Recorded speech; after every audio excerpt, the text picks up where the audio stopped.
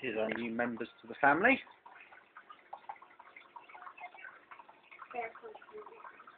Two yellow-bellied map turtles. That one there's Jack's turtle. That's Torterra. And that is James's Bowser Jr.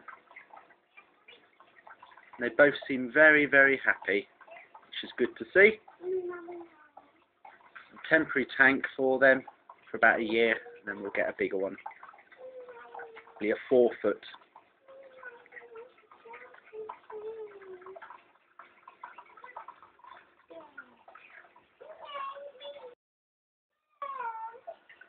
I must go because my phone's going to run out of battery.